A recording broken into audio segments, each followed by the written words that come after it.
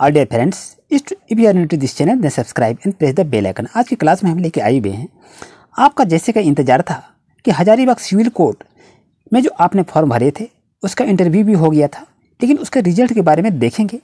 आइए चलते विस्तृत जानकारी के साथ हम एक एक करके आज हम डिस्कस करेंगे, आखिर रिज़ल्ट आया है या रिज़ल्ट नहीं आया है, या कब तक आ सकता है।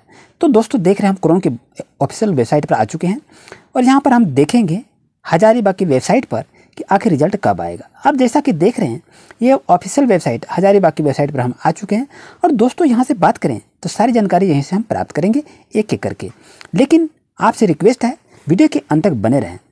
फैक वीडियो से रहें सावधान और अच्छी तरह से कोई भी जानकारी लेनी हो तो ऑफिशियल वेबसाइट पर ही जाकर अपनी विज़िट करेंगे और यहाँ से सारी जानकारी को प्राप्त करेंगे। जो इसे आप देख रहे हैं यहाँ पर दोस्तों, यहाँ पर क्या देखें, उन अभ्यर्थियों की सूची जिनका साक्षात्कार हो गया इंटरव्यू हो गया है उसके लिए यहाँ पर आपका लिस्ट दिया हुआ है।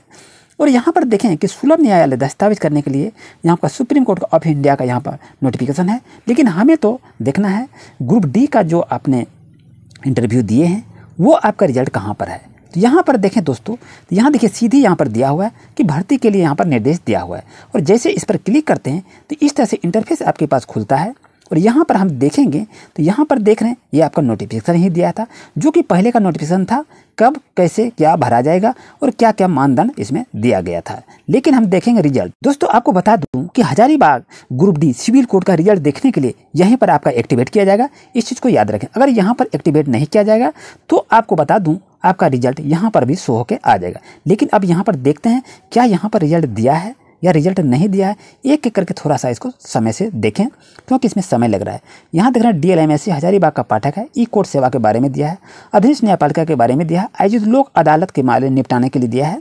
और यहाँ पर देख रहे हैं कि ग्रुप डी सिविल कोर्ट का रिज़ल्ट किसी तरह से दिखाई अभी तक तो नहीं दे रहा है।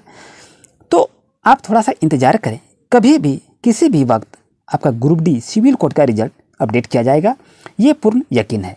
क्योंकि समय काफ़ी लग गया है और सभी कार्य काफ़ी तेज़ी से चल रहे हैं। और यहाँ से आपको बता दूँ, ये रिज़ल्ट के लिए बहुत सभी प्रकार की चीज़ों को देखा जाता है और उसका मेरिट लिस्ट भी बनाया जाता है और मेरिट लिस्ट बनाने के बाद ही रिज़ल्ट पब्लिश की जाती है। दोस्तों, आपसे रिक्वेस्ट है, जैसे ही रिज़ल्ट आएँगे, अभी तो रिज़ल्ट आया नहीं है। हम देख आज के ताज़ा अपडेट के साथ आपको बता रहा हूँ कि रिज़ल्ट अभी नहीं आया है। रिज़ल्ट जैसे ही आएगा, आपको हम बताएँगे।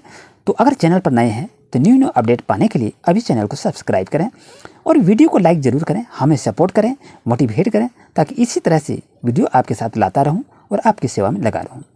दोस्तों, घबराने की कोई बात नहीं है। अभी रिज़ल्ट किसी प्रकार की नहीं आया है हजारीबाग सिविल कोर्ट से। मिलते हैं न्यू अपडेट के साथ। जैसे रिज़ल्ट आएँगे, आपके साथ पुनः आएँगे। Thank you for watching my video